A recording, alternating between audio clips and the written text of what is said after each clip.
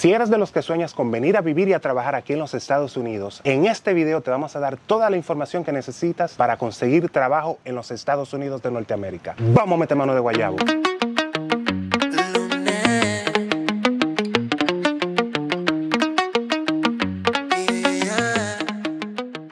Y para darle esa información necesitamos personas verídicas que hayan pasado por el proceso y que tengan toda la información a mano. Y para ese video nos va a acompañar el día de hoy Mariano Conoce. Hola, ¿qué tal mi gente? Estamos aquí. Espero que esta información les sea de ayuda. Vamos allá.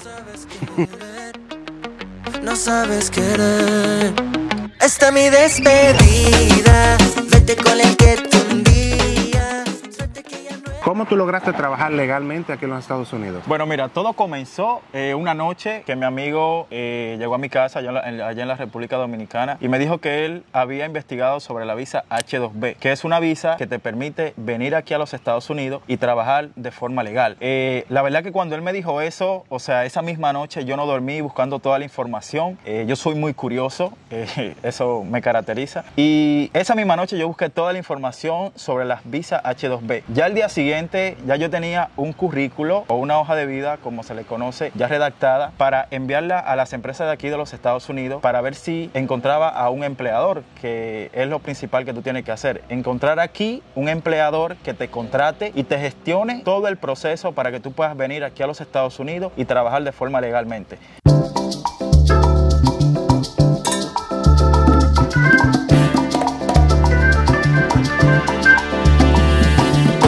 Documento tú necesitaste para poder aplicar y trabajar legalmente aquí? Bueno, mira, lo primero es tener el pasaporte vigente. ¿Por qué? Porque es el primer documento que te va a pedir el empleador para hacer lo que es todo el trámite y todo el proceso para poder eh, traerte aquí. Eh, es lo primero que tú debes de tener. Eh, en mi caso, eh, ya yo los tenía disponibles, no tuve que, conseguirlo. Y simplemente se lo envié al empleador y él automáticamente comenzó el proceso y te digo que en, en uno de dos a tres meses ya yo estaba aquí en los Estados Unidos. Aparte del pasaporte, ¿qué otro documento más tú necesitaste? Simplemente el pasaporte, que tenga el dinero disponible para el proceso de la visa, que son unos 200 dólares. Ya absolutamente eso fue lo que yo necesité.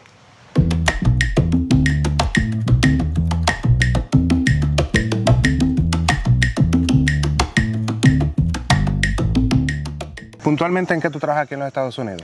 Bueno, yo trabajo en Cerca, que actualmente en República Dominicana se le conoce como verjas, aquí se le conoce como cerca o vallas. Eh, mayormente se utilizan para cercar lo que son las casas, se pueden utilizar como para si alguien tiene un perrito que no se le salga para donde el vecino. Tenemos cerca eh, de madera que mayormente se utilizan para las casas, Eh, tenemos cercas residenciales que mayormente la utilizan lo que son los negocios como bancos y ese tipo de restaurantes también y ese tipo de negocios así en particular.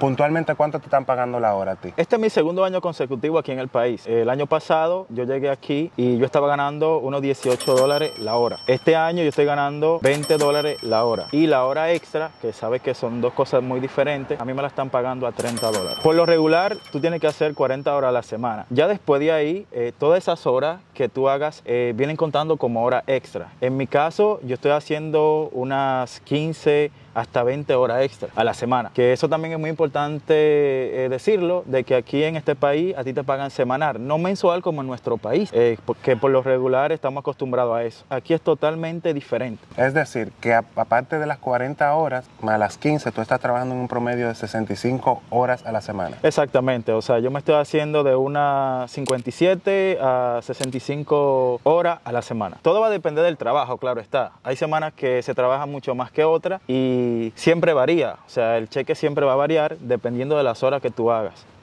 Este es el momento en el que te voy a pedir que por favor te suscribas, dejes tu like y comentes. Gracias.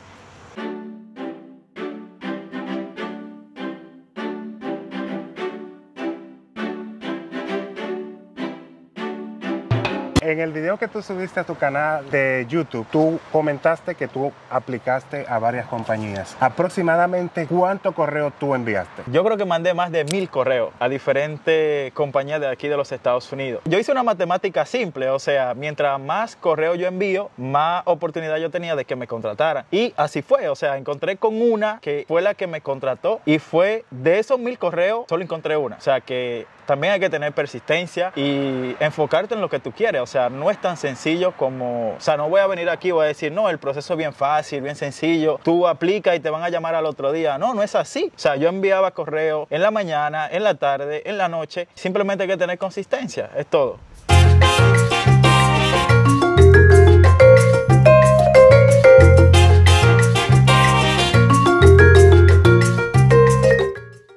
Más de mil correos tú enviaste. ¿Qué tan frustrante fue para ti ese proceso? Bueno, la verdad es bien, bien frustrante porque tú ya te vienes haciendo una idea de que, wow, me voy a ir a los Estados Unidos a trabajar eh, para poder ayudar a mi familia, ganar un dinerito extra adicional. Y, y tú ves que por más que tú te esfuerzas en enviar correo, enviar correo, o sea, nadie te contesta. O sea, es como que a la misma vez la oportunidad de venir a los Estados Unidos está ahí, pero a la misma vez no está. Entonces eso te frustra bastante, la verdad que sí, es bien frustrante. Eh, habían empresas que me respondían, pero me decían, tú te encuentras aquí en los Estados Unidos, porque de ser así es más fácil eh, contratarte. Otra también me decían, lo siento, pero no estamos contratando personas de República Dominicana, solo estamos contratando personas eh, de México. Cada vez que yo recibía un correo de eso, para mí era más frustrante todavía, porque la idea de venir aquí se alejaba más y se alejaba más y se alejaba más. Pero igualmente seguía enviando correo toda la mañana, toda la tarde, toda la noche, hasta que lo logré. O sea, fue la, la verdad que fue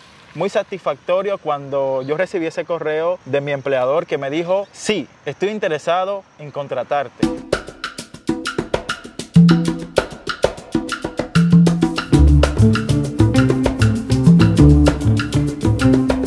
Sentiste cuando tú recibiste el correo de tu empleador actual que te dijo, sí, te vamos a contratar? Bueno, mira, la verdad, esa noche yo no dormí, yo me puse a pensar, wow, voy a venir aquí a este país, voy a comenzar a ganar en dólares. Yo hice un pequeño cálculo así en mi teléfono de que, wow, si me pagan a 10 dólares la hora son tanto. O sea, yo ni siquiera sabía cuánto se ganaba aquí por hora ni nada, o sea, yo no sabía absolutamente nada de aquí. Pero la verdad me puse muy emocionado. Eh, recuerdo que esa misma noche le llamé a, a mi novia que actualmente es mi esposa, y le conté todo y ¿Para qué fue eso? Se puso a llorar porque se hizo la idea de que ya yo me iba a venir para acá, de que la iba a dejar allá sola. O sea, fue una noche de emoción, eh, de llanto, tristeza. O sea, fue una locura, la verdad. Tan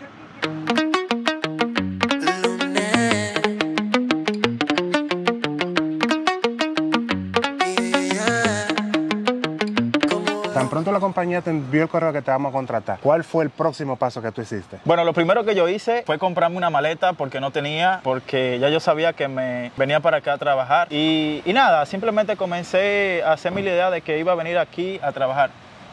Si eres de los que ven los videos y no te has suscrito a este canal, te voy a pedir que por favor lo hagas porque es la mejor forma de apoyarnos en este proceso creativo. Así que suscríbete, deja tu like y comenta, mi locotrón. Apóyenos. Gracias.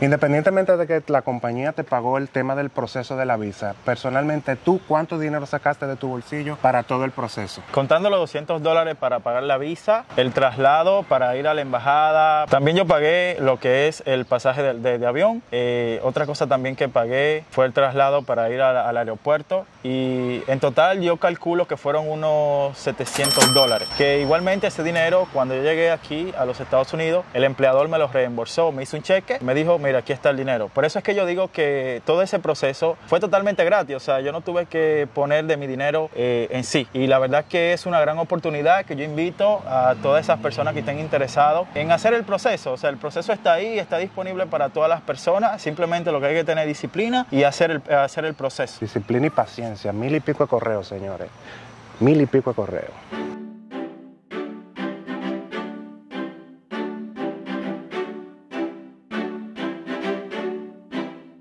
Si yo quiero aplicar ese proceso, ¿qué yo debo hacer? ¿Hay una página puntualmente? Sí, hay una página que es oficial del Departamento de Trabajo, donde ahí todas las empresas publican lo que son las ofertas de trabajo. Tú simplemente tienes que ir a la página, buscar las ofertas de trabajo, ahí te dejan el número de teléfono, dirección donde esté la empresa, eh, también te dejan el correo y simplemente tú agarras el correo y manda tu currículo o hoja de vida. O sea, el proceso es bien sencillo. También en la página tú vas a encontrar cuántas personas ellos están necesitando. También ahí te dicen el dinero que pagan por hora, el dinero que pagan por hora extra y ahí está toda la información de, de la empresa que tú puedes ir a internet y buscar esa empresa para verificar que es una empresa real, o sea, que no es algo fake. Esta página web va a estar en la descripción del video, así que pasen por allí, chequeenla y apliquen y empiecen a mandar correos, señores.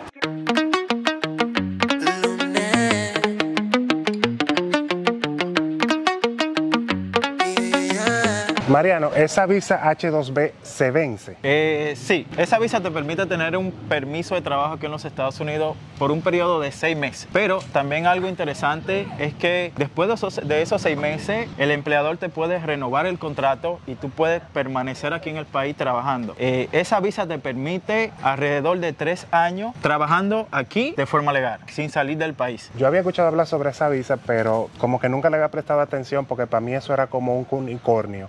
Era algo como que no era real, pero por lo visto tú lo lograste y es algo que es real.